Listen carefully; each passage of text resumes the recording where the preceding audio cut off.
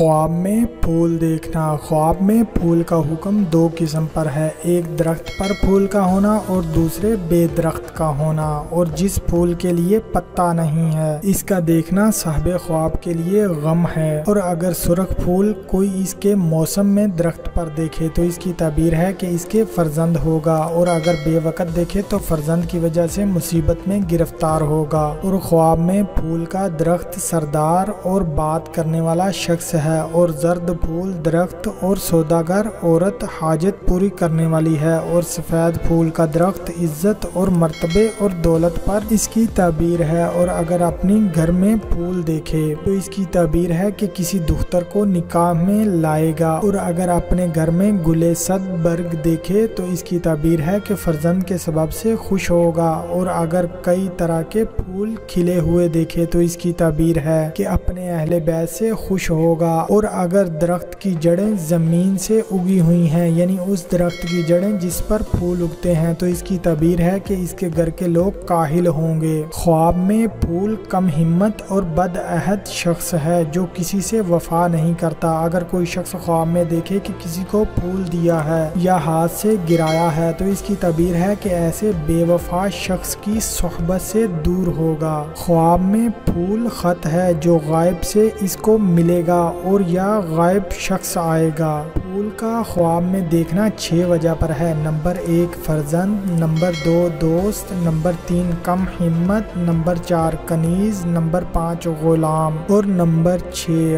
غائب کا خط۔